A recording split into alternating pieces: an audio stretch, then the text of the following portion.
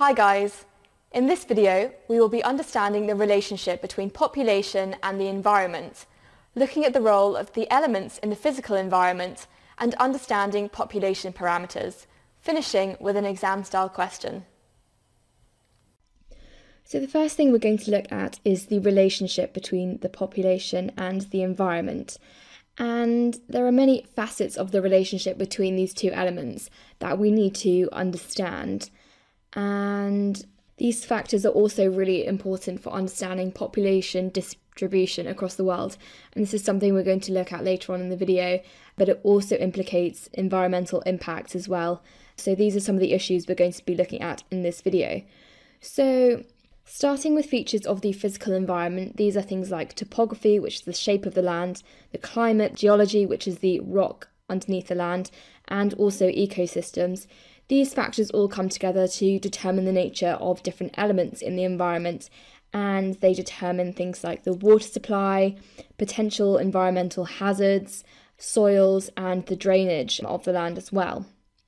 And these factors then go on to affect a lot of human factors, including things like food production. Obviously, if a land is more fertile, it's going to produce more food, also relates to energy supplies, settlement plans, and also human health. And these are some of the factors we'll be looking at in the rest of this chapter on population and the environment. But this is to give you a brief overview about how these physical factors influence human life as well and influence where humans choose to live in the world. So, these human factors then go on to influence the population size, distribution, and success of the population in different areas. And when humans therefore then live on the land, this can also have negative physical impacts on the environment itself. So, it's almost like a chain and this is to do with levels of resource consumption. If humans are consuming more resources than are present on the land, the resources will become depleted, um, and so on. Also relates to standard of living people in highly developed countries consume a lot more than people in low income countries. So, this has a massive impact on the environment as well because there's often more pollution in certain countries more than others. And also, there are many mitigation measures put in place to reduce the environmental impact. So, this isn't really an impact, this is that mitigation measures have to be created in order to deal with the impacts of humans on the environment. So there's a two way relationship between population and the environment. The environment allows humans to sustain life, but also humans therefore use the resources of the environment and also end up damaging it in some ways. So, the impact of increased resource consumptions by humans on the environment leads to things like climate change, and this is through the emission of greenhouse gases, which are causing global warming, things like pollution, ozone depletion, which is allowing more UV radiation into our atmosphere because ozone is a molecule, you don't need to know about this, but essentially it reflects or absorbs some light from the sun. So, with ozone depletion, the earth will get warmer, and also the depletion of finite natural resources, things like fossil fuels like oil, coal, gas, and also other minerals and metals, and also it leads to damage to wildlife as well through the destruction of habitats. Now that I've outlined the relationship between humans and the physical environment, we're going to look at some of the elements in the physical environment more specifically. So, the first thing we're going to look at is the climate. And the climate is the most important physical factor influencing the environment and human populations. And this is because climate factors such as rain, temperature, and so on, and sunlight levels too. They determine things like food productivity, so how much food can be cultivated on the land, and it also determines different farming systems. So, for example, many crops may need temperatures of at least 5 degrees Celsius to grow, and so on. So, plants and also livestock are very specific to where they can grow, and so that's how the climate influences things like food productivity. Also, high concentrations of population are determined by climate factors as well, such as adequate rainfall and temperatures that are suitable for the growth of livestock and crops because obviously humans need to eat, so therefore they will locate themselves where farming can take place. However, characteristics of the climate can also drive the level and nature of diseases. For example, in the tropics is where we find most of our diseases, um, diseases like malaria, yellow fever, and Ebola. And this will influence the death rate and the life expectancy in these different areas with different climates. However, if you look at the example of the UK, we don't live in a tropical climate, and we're probably living in one of the few places in the world where we don't suffer from many infectious diseases, as many as there would be in the tropics.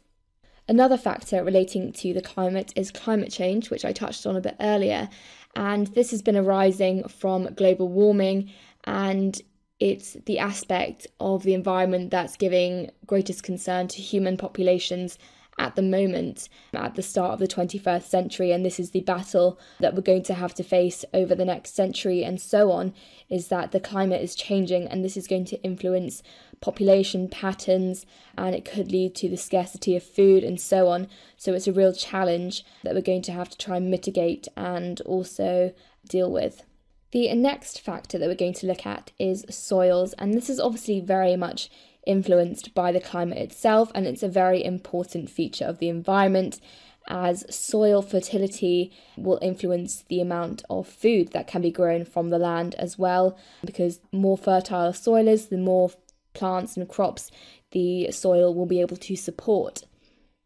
So, the factors that influence the fertility of the soils are things like the soil structure, texture, acidity, which is the relates to the pH of the soils, the levels of organic matter and also the levels of nutrients in the soil. And these factors will all work together to determine the agricultural output and the type of farming system that can be employed on a certain piece of land with a specific type of soil. However, in the recent decades, fertility has been able to be maintained artificially, essentially, not naturally, by the use of chemical fertilizers and this has enabled high population densities to grow in areas of land where there wasn't traditionally very fertile soils.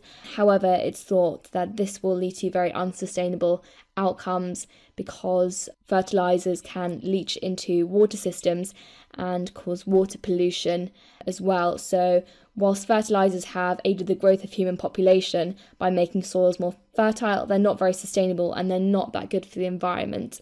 Also, areas with fertile soils are often associated with densely populated areas, as I mentioned before. So, we do find clusters of people living in specifically fertile areas. This is where we have volcanoes because volcanic lava and ash makes the soils really fertile. So, if you look at a map of population density, you will often see high population densities in volcanic areas. Our next factor is water supply. And you may realize this already, but people need access to water to survive. Humans cannot survive without water, it's impossible. So, the main reason why we need a fresh water supply is mainly for hydration, but there are also other main key uses of water that we need to support human populations. These are for irrigation, for food supply, Crops obviously need water to grow as well, so that's another big use of water. And some other key uses of water are for hygiene and sanitation, such as sewage systems, and also in industry, many chemical processes require water. So that's why water and the water supply is so important to supporting human population. So, just like soil type, water supply also determines population distribution.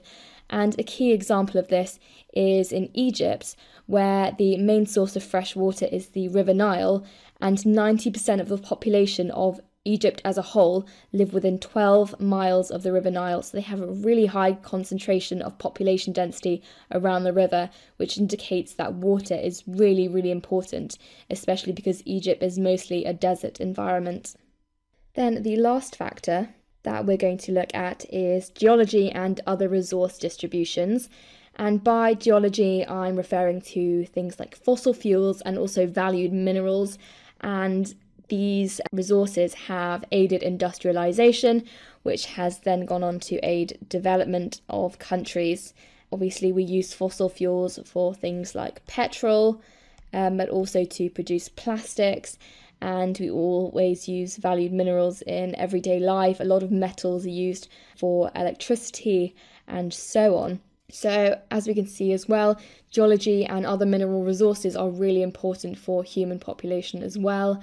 And often we'll find that the areas that have industrialized first are the areas where these resources have been in abundant supply originally, and it's led to a high population density because through development, this has allowed populations to grow, obviously through the development of infrastructure and so on. And that's why countries that were originally very rich in these resources, such as the USA, China, India, now have the largest populations in the world. And whilst these um, initial resources that they used to boost their populations at first are now kind of being very much depleted, their economies are still stable and still growing because now they've moved on to things like tertiary industries to kind of save and serve their economies. And now we're going to be looking at population parameters, having just looked at elements in the physical environment. So, first of all, I'm going to define the two main population parameters, which are population density and population distribution.